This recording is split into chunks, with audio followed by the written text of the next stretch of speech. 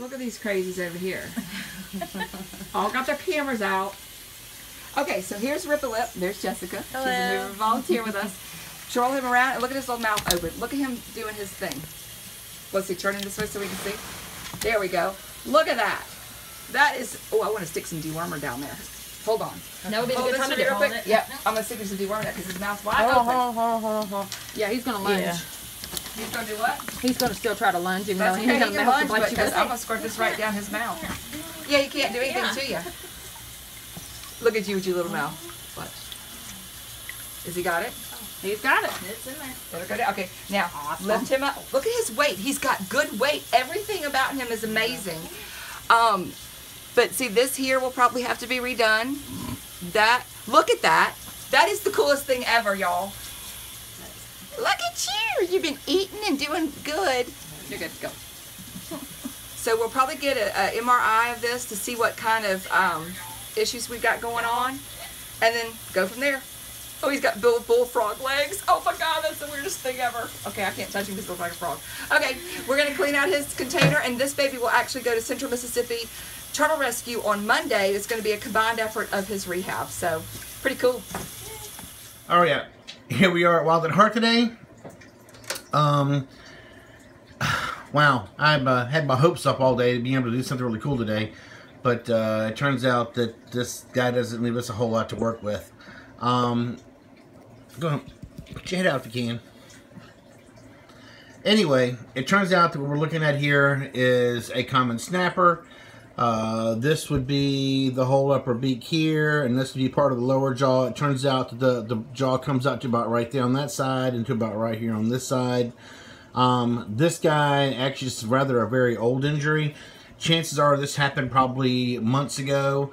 Um, it's hard for you to tell what did this, but whatever it was was, uh, pretty big. Um, probably even a bigger snapper. Um, but whatever it was, uh, as best I can tell, if you look at that divot right there, it looks like it cut straight down through there, and then whatever it was just met there and got the rest of this off. So this guy actually could have been a victim of one of his own, or a similar species, like a um, alligator snapper.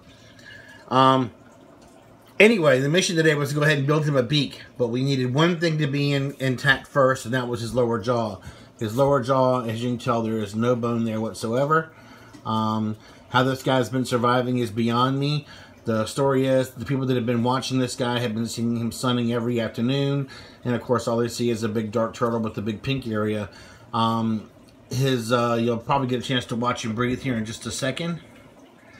I'm gonna close in on his glottis. So through millions of years of evolution, these guys just know to lift their head. And even without eyes, this guy can feel where the level of the water is on his body. Come on, let's breathe us. You can see it almost wanting to move. Oh, oh, there it is. So he would just bring his whole head out of the water, open up his glottis and breathe, and then go back underwater. Probably the reason this guy doesn't have any maggots on him is because he is in the water so much, the maggots just fall off and die. So the flies are on there every afternoon while he's sunning, trying to remove that stuff. Um, there's also a lot of debris and stuff in here. Where'd my finger go? There it is. There's part of the debris there. Um, the debris in a crack at the upper palate there. you can see the edges of the margins of the bone right there going up. So I was going to try and con connect a, uh, a large uh, epoxy type uh, mask to that, but this guy's also blind. So with all this in mind, it just seems kind of cruel to set this guy free. Um, it's not that he can't enjoy life. It's just that it would be a bigger struggle for him than most. And we just don't think that'd be fair. All right, so anyway, we're going to send this guy to Jesus.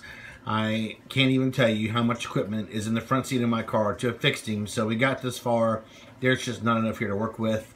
And even he's still going to need, if I put a mask on him, he's still going to need to be able to see what he's uh, he's aiming his, his new beak at, and he just can't do that. I mean, to make a beak, I still need a lower jaw, and we don't have that either. So we are way behind, way behind in getting this guy fixed. So I apologize to you, little dude. Um, heaven, I'm told, is a very nice place. All right, later.